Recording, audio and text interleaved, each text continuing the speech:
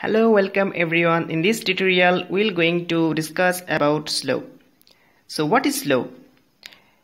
If any straight line AB makes angle with the positive direction of x-axis, this time I can show it as theta, then if we take tan of theta, then this tan theta will be called the slope of AB.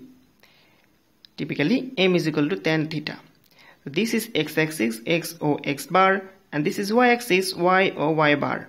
So if that straight line AB makes angle of the positive direction of x-axis, then this is called tan theta, and this is called the slope of straight line AB. Okay.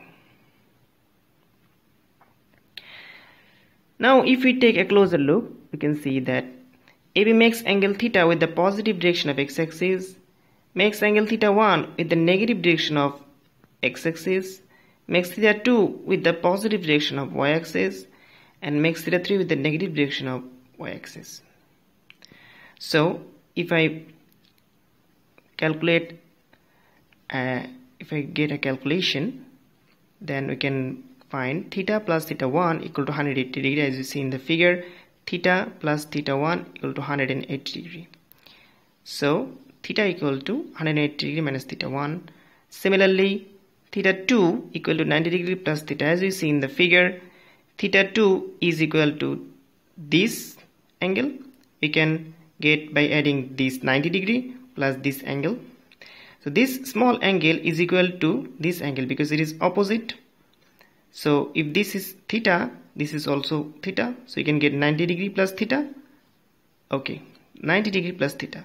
So here find theta equal to theta 2 minus 90 degree.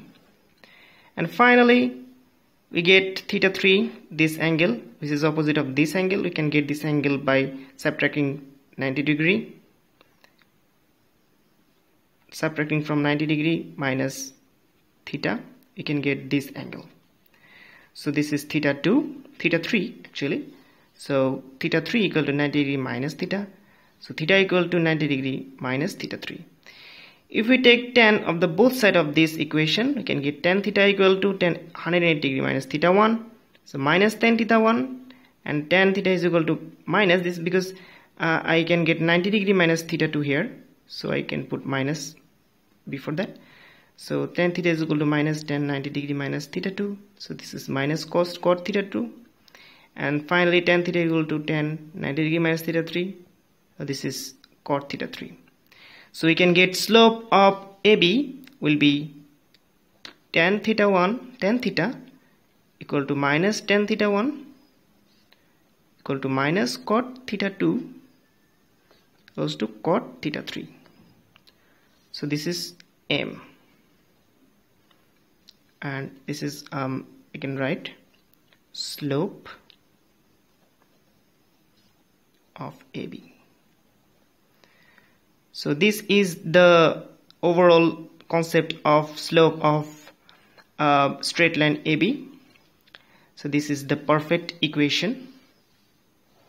This is the perfect formula of getting the slope of the straight line AB Thank you for watching this video and like and subscribe us for more videos. Stay tuned.